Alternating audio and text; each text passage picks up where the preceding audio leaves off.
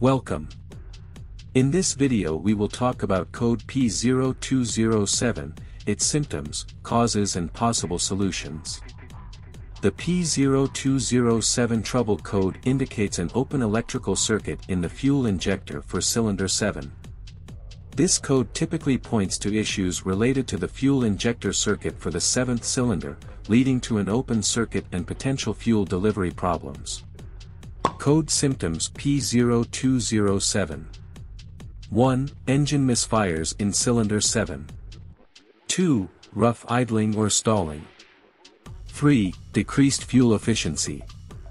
Causes of the code P0207. 1. Malfunctioning or faulty fuel injector for cylinder 7. 2. Open or shorted wiring in the fuel injector circuit for cylinder 7. 3. Issues with the engine control module ECM, affecting the injector circuit. Code Solutions P0207 1. Inspect and replace the fuel injector for cylinder 7 if it is malfunctioning or faulty. 2. Check and repair any open or shorted wiring in the fuel injector circuit for cylinder 7.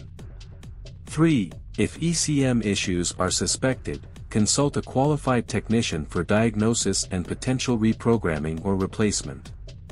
Thank you for watching this video, don't forget to leave a like and a comment, see you next time.